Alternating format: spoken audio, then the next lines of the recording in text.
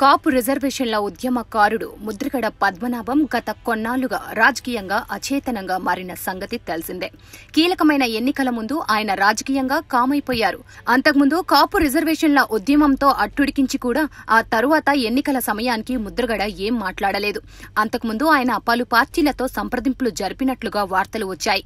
అయితే ముద్రగడ ఏ పార్టీలోనూ చేరలేదు. ఎన్నికలు రానే వచ్చాయి వెళ్ళిపోయాయి రాష్ట్రంలో ప్రభుత్వాన్ని కూడా మార్చేశాయి ఈ ఎన్నికలు. ఇక ఎన్నికల తర్వాత ముద్రగడకు రాజకీయంగా ప్రాధాన్యత చాలా వరకు తగ్గిపోయినట్టే. అయినా కూడా వైఎస్సార్ కాంగ్రెస్ పార్టీ అధినేత జగన్మోహన్ రెడ్డి ఆయనకు తన పార్టీలోకి స్వాగతం పలుకుతున్నట్లుగా తెలుస్తోంది. ఎన్నికలకు ముందు కొన్నిసార్లు జగన్మోహన్ రెడ్డిని విమర్శించారు ముద్రగడ. ప్రత్యేకించి కాపు రిజర్వేషన్ల అంశంలో తన చేతిలో ఏమీ లేదని ఆ విషయంలో కేంద్రం నిర్ణయం తీసుకుంటేనే జరుగుతుందని జగన్మోహన్ రెడ్డి వ్యాఖ్యానించారు. దాంతో జగన్ మీద ముద్రగడ విమర్శలు చేశారు కూడా. అయినా ఇప్పుడు వైఎస్సార్ కాంగ్రెస్ పార్టీ అధినేత ఏపీ సీఎం జగన్మోహన్ రెడ్డి ఆ కాపు నేతకు మంచి గుర్తింపు ఇచ్చేందుకు రెడీగా ఉన్నారట.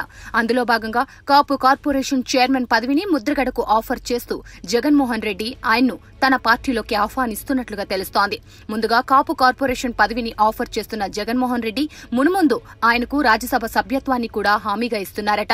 ఈ ఆఫర్లతో ముద్రగడ పద్మనాభాన్ని సీఎం జగన్మోహన్ రెడ్డి తన పార్టీలోకి ఆహ్వానిస్తున్నట్లుగా ప్రచారం జరుగుతూ ఉంది. మరి దీనిపై మునుముందు ఎలాంటి అప్డేట్స్ ఉంటాయో?